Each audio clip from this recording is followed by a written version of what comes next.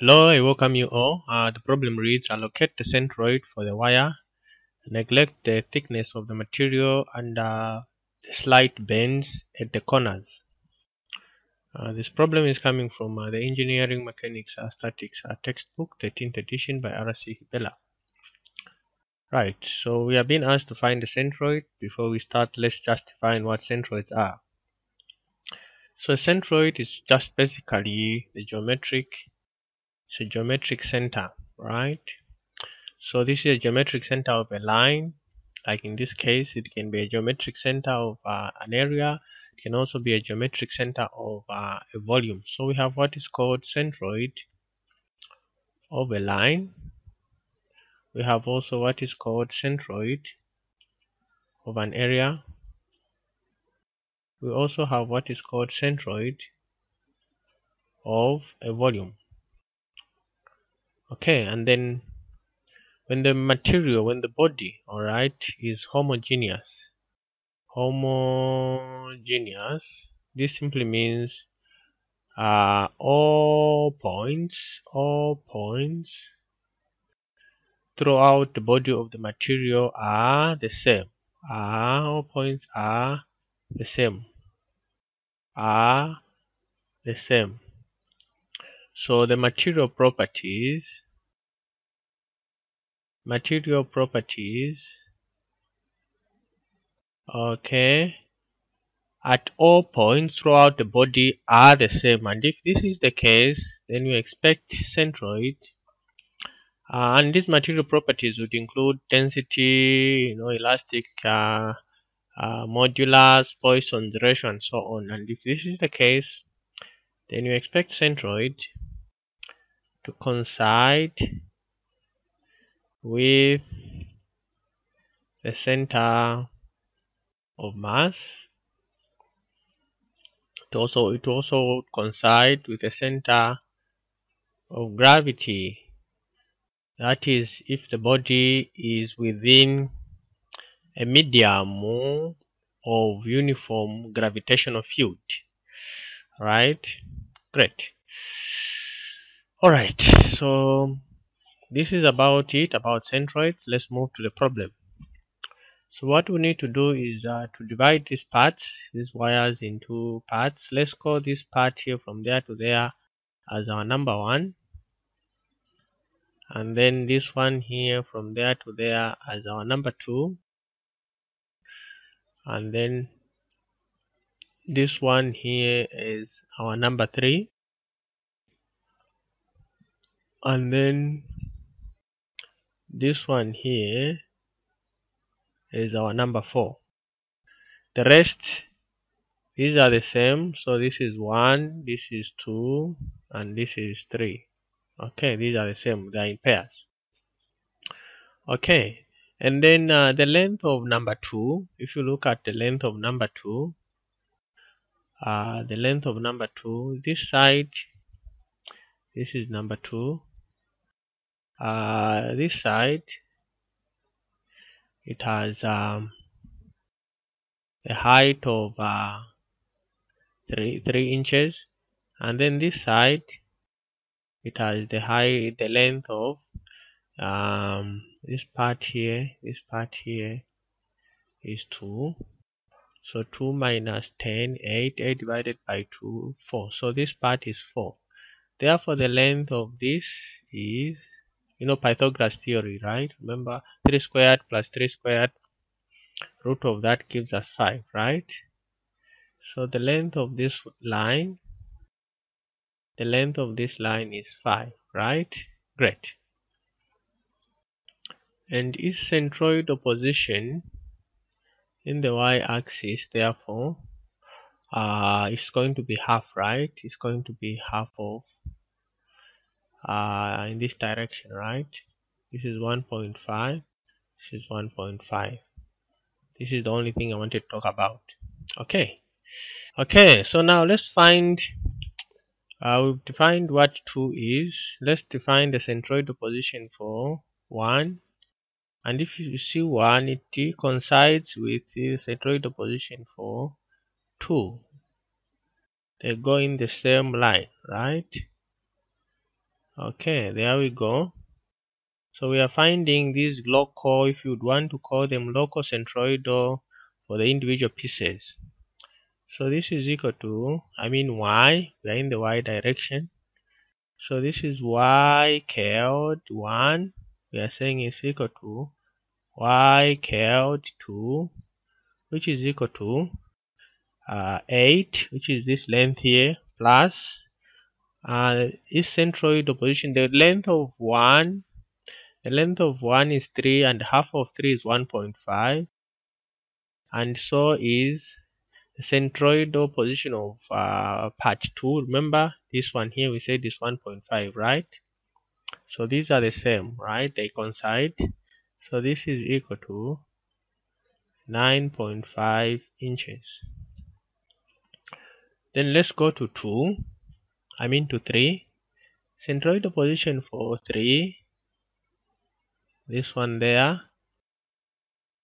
Uh, so this one there it is y cubed 3 is equal to half of 8 is 4 4 inches.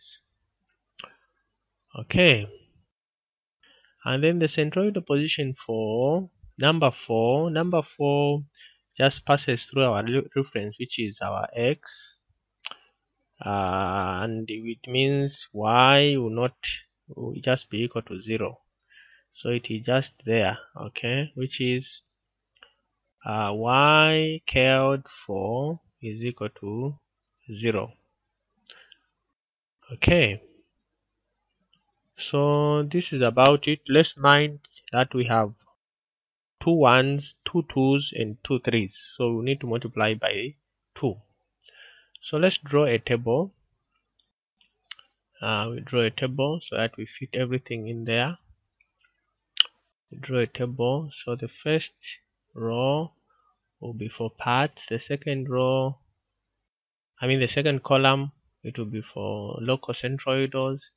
And then uh, this one will be for the length and then this one will be for the product of length times uh, times the centroidal. So let's call this part uh, parts. Then let's call this one as in centroidal uh, y bars. Like so and they are in what? They are in inches and then this one we call it length L. L they are also in inches. Then this one we call it called L product. Uh, this one they are in inches squared. Okay so how many parts do we have? One two three four. Okay. One two three four and then finally this one. Great. It's about it. So we have one two three four and summation. Great. So what do we have for this? Uh, we have uh, part one is um uh, what's this local centroid for one for one the local centroid we said is uh 9.5 for two it is also 9.5 for 3 we said is 4 and then for part number 4 we said is 0 the length for the first one we said is 5 I mean the, for the first one is 3 and there are 2 so say 2 times 2 times 3 okay. The length for part number two there are also two parts of this. There is this one and this one. So say 2 times the length is 5 remember this length here it is 5 okay and then for number 3 there are also 2 the length. So the, the length is 8 so it will be 2 times 8 then the length for the fourth one we just took the whole lot of it alone the way it is and is equal to 10 so let's get the products. So we have 9.5 times 2 times 3 right 9.5 times 2 times 3 what do we get? We get a 57 and so is here is a 57 and then we have 4 times 2 times 8 um this is a 64 and then 0 by 10 is just a 0 so let's add up the length and we add up the product of centroids times uh, the length so what is the length? 2 by 3 plus 2 by 5 plus 2 by 8 uh, plus 10 42 that's the total length. So the product of a centroid or locus centroid or position or location times the length so 57 plus 57 plus 64 is 178 let me check the length again 6 plus 10 plus 16 plus 10 42 and the 64 plus 57 plus 57 178 great. So we have the formula. The formula for this is y bar is equal to summation from n where n is equal to 1 comma 2 eh, dash dash up to the fourth part right of y cubed times l divided by the summation from n where n is equal to 1 up to 4 of L okay? And this was equal to 178 divided by 42 therefore our y cubed is giving us uh, 178 divided by 42 this gives us a 4.24 right? A 4.24 inches. Great. So this is the final solution. And let's show it here so we are measuring it from the bottom here. I'll show it in blue.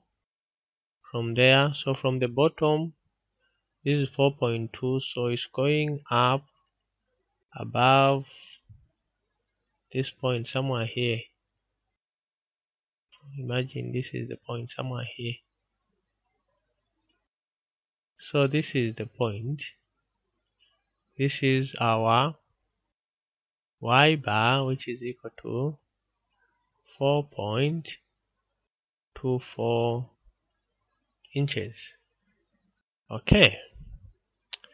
So that is uh uh, we should not forget to say the y position I mean the x position is equal to 0 x bar is equal to 0 is equal to 0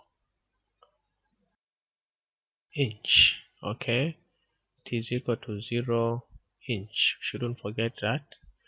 It is equal to 0 inch. Great. This is about it and i hope the video was helpful. And if it was uh, give me a thumbs up like my video continue subscribing and uh, uh, sharing my channel. Bye bye and uh, see you in my next uh, screencast